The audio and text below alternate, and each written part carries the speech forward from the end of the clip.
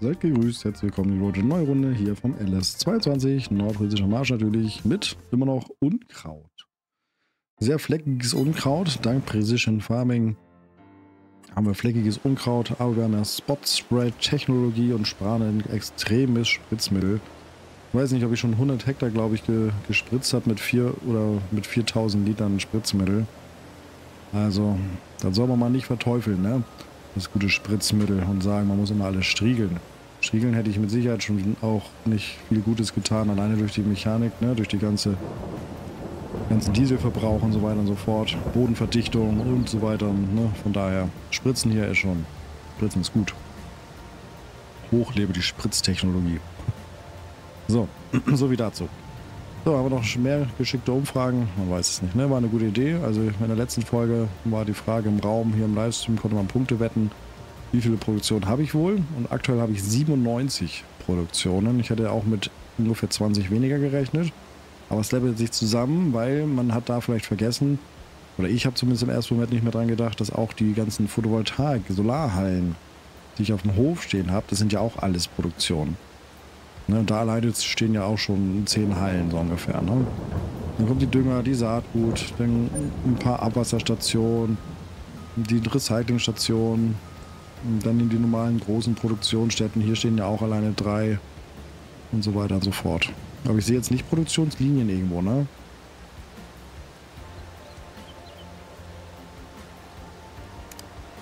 Plantagen sind 15. Ja, genau.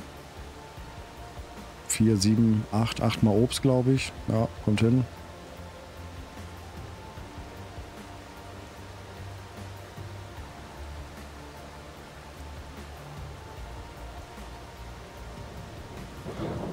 Feels amazing, man. ja. Eigentlich haben noch ein paar mehr Plantagen, ne?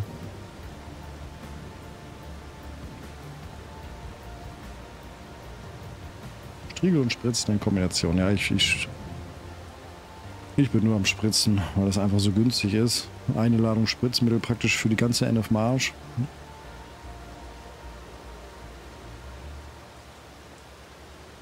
Ja, ich fahre jetzt hier auch selber. Ne? Ich kann auch die Zeit einfach jetzt blind weg wegspulen, aber neben Andersfeld, das können wir aber lieber mit dem Helfer machen. Und dann haben wir noch zwei Felder mehr. Das muss im Mai jetzt halt noch gemacht werden und gut ist. Jetzt hatten wir tatsächlich noch eine ganze Ingame-Stunde Regen.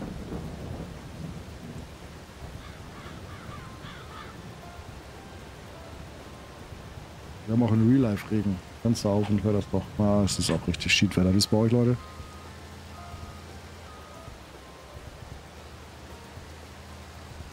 Schönes Wetter, Sonnenschein, warm, kurze Hose.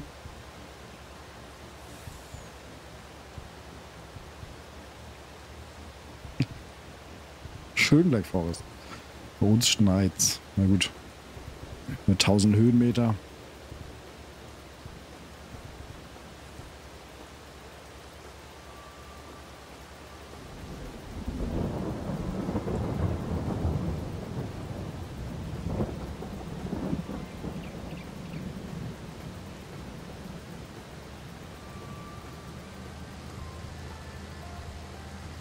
7 Grad. Ja, sowas würde ich auch wahrscheinlich ähnlich. Temperatur weiß ich jetzt nicht, aber kommt wahrscheinlich hin. Anschaltleitung auch. Bei euch schneit da unten im Süden. DC Kaiser, danke dir für den Substufe 2 im 29. Monat. Vielen, vielen Dank. Einmal Wasserbombe. Vielen Dank.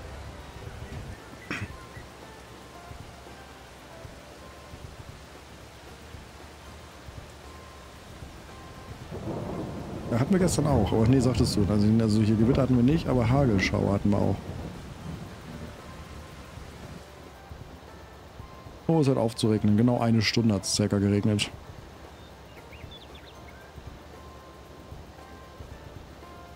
Aber denk mal gar nicht, was diese Verteilerkosten sich zusammenleppern. Ne? Ich meine, Strom kommt man ja nun mal nicht drum rum. Das heißt, man moddet sich einen Stromanhänger, der Strom auffüllt, aber ein bisschen komisch. Aber mit dem, auch mit dem Wasser und Wartung Das läppert zusammen mit den Verteilungskosten.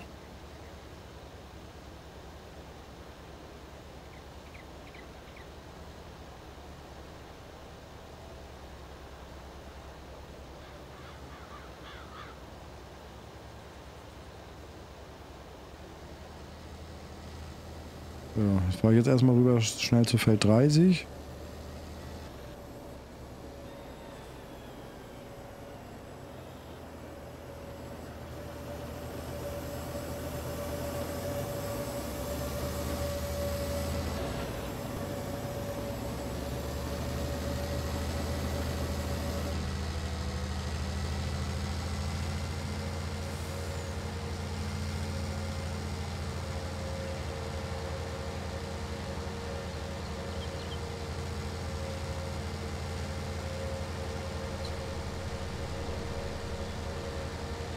Sechshundert Meter hoch. Naja.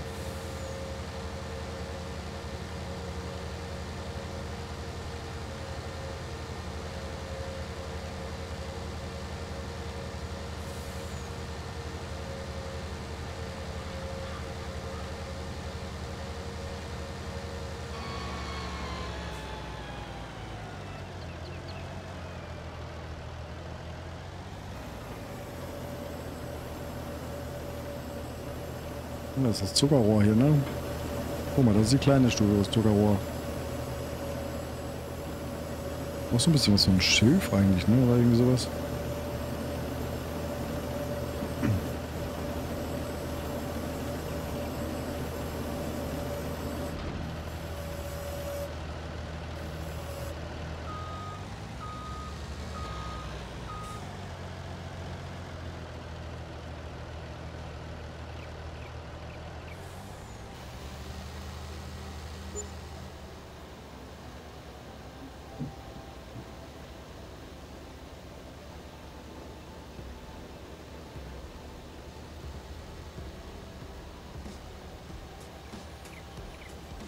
Oh.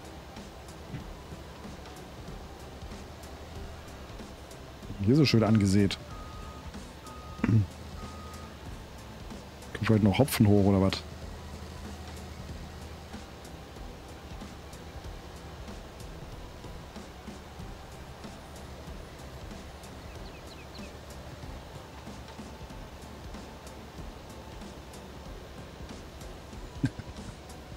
Dreißig Mal höher, ja, auch bei mir. Ja auch 20 Meter hoch ungefähr. Was für nordische Verhältnisse schon überdurchschnittlich ist, wahrscheinlich für schleswig-holsteinische Verhältnisse. Also von wegen gar nicht so hoch.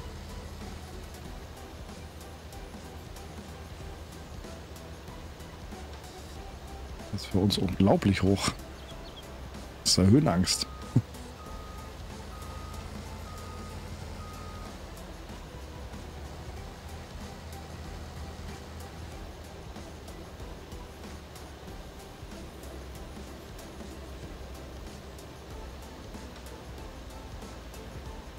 Das hat, glaube ich, nicht ganz gereicht für die Mitte auch, oder?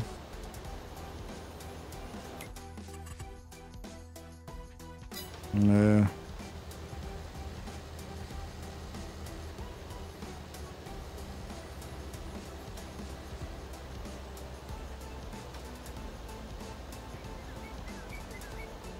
Gut, so 45 ist mal wieder ein Feld, was er jetzt eigentlich alleine machen kann. Dann können wir zwischendurch nochmal wieder gucken, wo noch irgendwas zusammenkratzen können für die Produktion. Es eine einzelne, vielleicht auch ein paar Schüttgutverkaufstouren gibt, die wir machen könnten.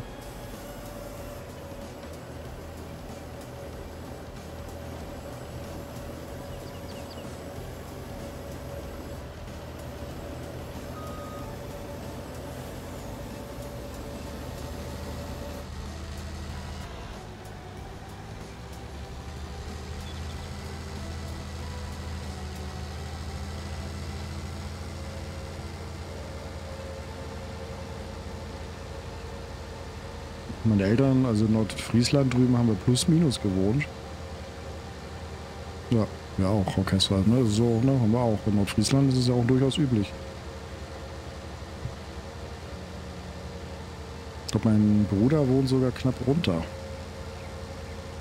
Oder in so einer Senke drin, da Richtung, ich sag mal so, Richtung, also zwischen Nibel, Nordfriesland und Leck, Nordfriesland, da irgendwo in der Ecke. Gibt es halt auch so ein paar Regionen, die sind noch meist unter Null oder also, ne? Nicht viel, aber ein bisschen. Ich weiß aber nicht wie viel.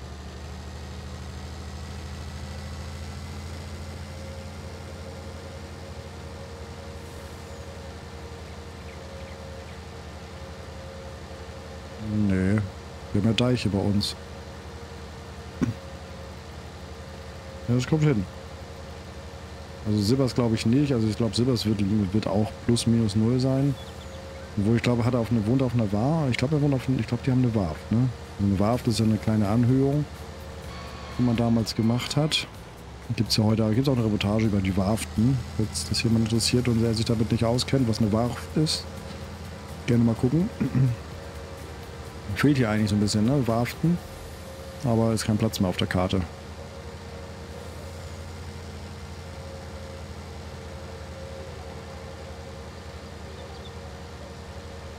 Und das ist noch Tal, ist auch lustig.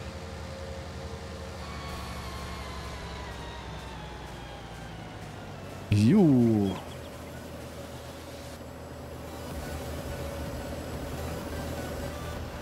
Hier wächst unser Hanf, wa? Ist ja bald der erste Vierte. Dann steigen die Preise hier fürs Hanf ins Unermessliche.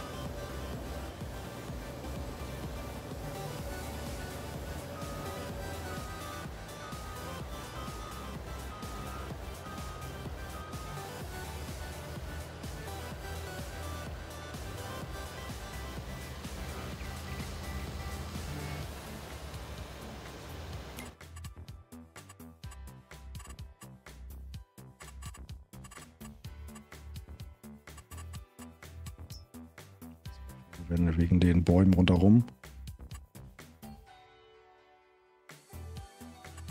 Also doch eine 16-fach wegen Warften, genau.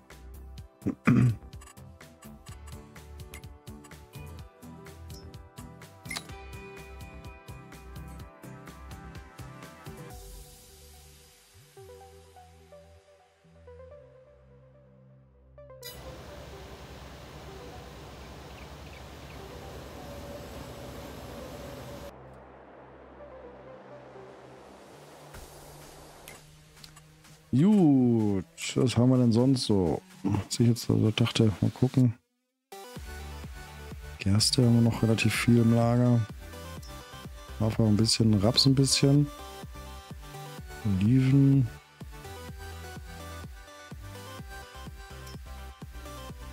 Nicht theoretisch alles wahrscheinlich zur Ölmühle, ne? Raps, Oliven, Mais. 30.000 Zuckerrübenschnitzel. Das ist auch immer nur, das bringt immer nur Kurzfass.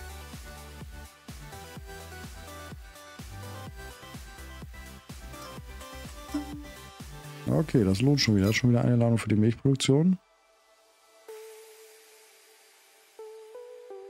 Kühe kommen langsam in Gang. Ah, gut. Die ist ein bisschen knapp da mit dieser hier, ne? Die eine Werkstatt mit Personal.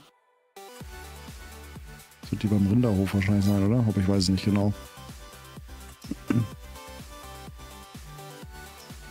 Methan könnte ich mal ein bisschen echt verkaufen fahren. Das müssen wir mit Flüssigkeiten fast machen, der beim, bei der Mosterei noch war, ne? Und das am Hafen mal verkaufen hat soll's.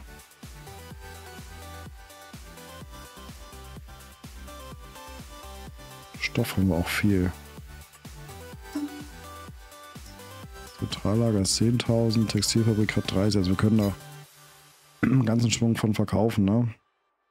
Gucke jetzt gerade so ein bisschen nach kleinen Positionen, nach Einzelpositionen, wo ich sage, okay, da lohnt sich aktuell noch ein Verkauf. Das wird vielleicht Sinn machen. Ich habe jetzt ja gesagt, ich möchte jetzt nach dem jeden Monat 500.000 auf Sparbuch packen.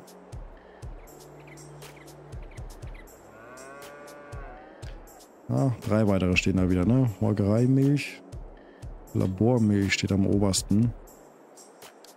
Dann würde ich wieder Labormilch nach oben. Auch wenn es dann schwieriger ist, das rauszukriegen aus der Liste.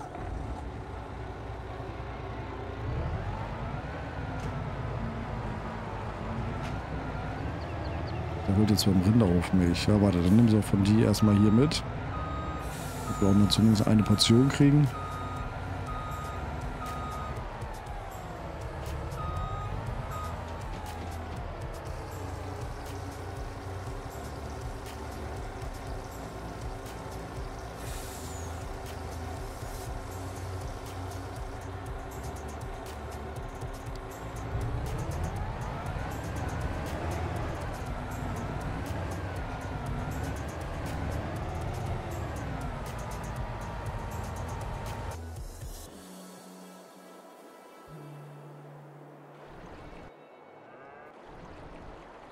Jawohl, ne, ich nehme den, ne? Der ist fertig mit Wasserabgabe. Hat jetzt ja auch geregnet, also die Obstfelder dürften auch genug Wasser haben.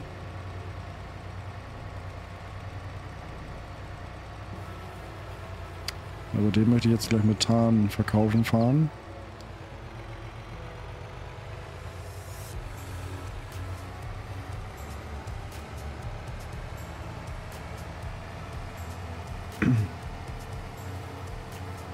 Noch die Erdbeeren nochmal abholen.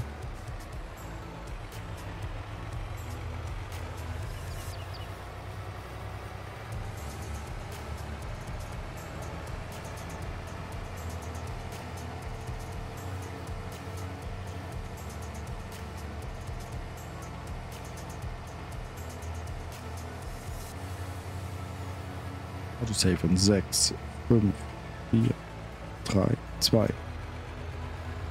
Achtung, Ruckel.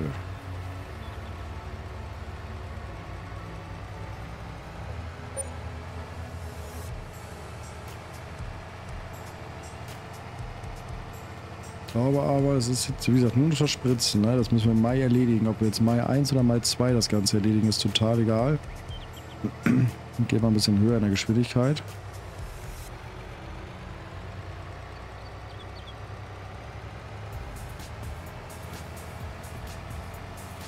Über Nacht werden auch wieder definitiv mehr drin stehen als nur drei weitere. Aber es macht halt irgendwo Sinn, ich sag mal jetzt bis Mai, bis also Mai 2 bis zum Mittag zum Spulen und dann anfangen ein bisschen ein paar Sachen zu verkaufen. Und wieder zu versorgen. Ja, dann geht's in Juni und im Juni müssten, müsste der Gerstefelder müssten ja dann eigentlich schon erntereif sein, ne?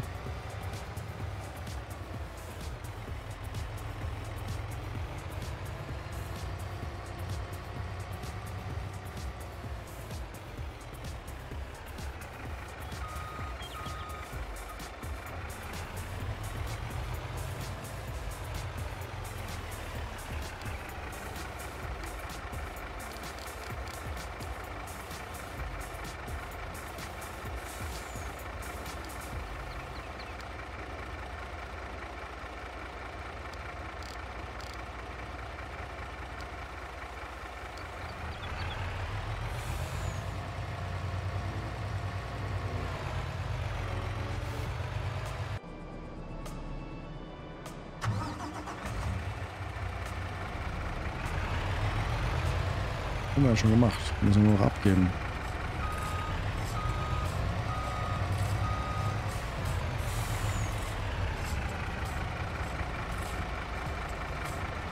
Ja, nee, die Weizenernten bringen, also generell das Dreschen bringt irgendwie deutlich mehr Geld. Das liegt aber, man kann das glaube ich einstellen bei sich im Better Contracts Mod, wie viel man vergütet haben möchte, ne?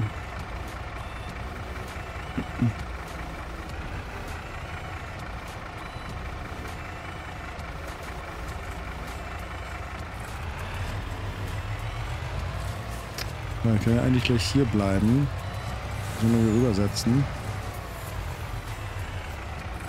1500 Waffeleis, 8000 Quascheis.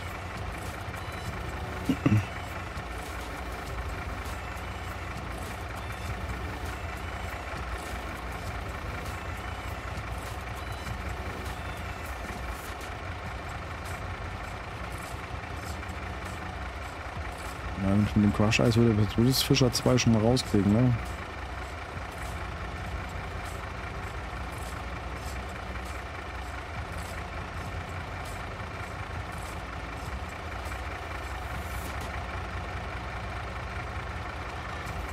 Damit er überhaupt mal was kriegt. Weil die haben ja noch nichts, aber der Booster ist ja gar nicht aktiv da. Dann mache ich das. Auch wenn das natürlich nicht reicht, um die da rauszukriegen. Machen wir damit jetzt zu Fischer 2.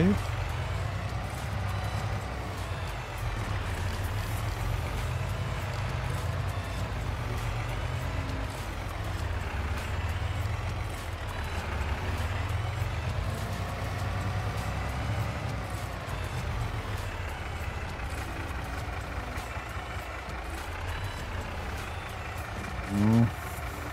Das andere lohnt nicht so richtig, ne?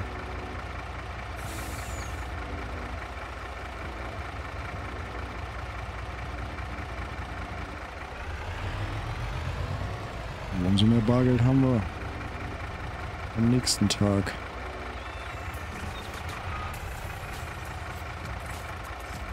Ich gerade, dass ich Eis auch schon mal mitnehme für den Krebsstart, Leute. Auch wenn es nur wenig ist, besser als nichts, ne?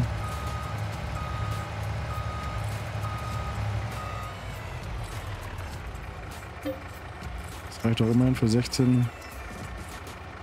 Also eigentlich ja für 32 Stück, ne?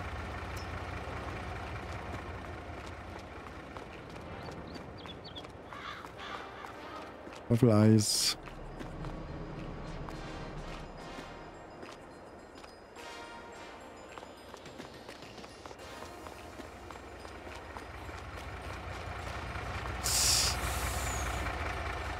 Müssen noch Geld verdienen fürs Dekorieren.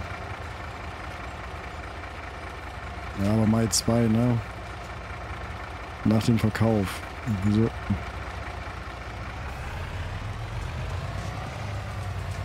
Oder wir machen das im Mai vormittags. Lass die Zeit einfach auf mal 5 laufen.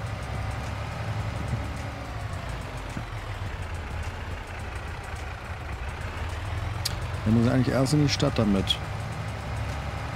Aber wir können ihn trotzdem erst zu Fischer schicken und danach weiterfahren. Kommen wir halt ein bisschen Waffeleis nimmt der Fischer nicht an. Wir sind nämlich am Ende der Folge, Leute. Und ich will mit einem neuen Kaffee organisieren. Kurze Pause. Viel Spaß beim Rauchen. Äh, bis zur nächsten Folge. Vielen Dank und tschüss.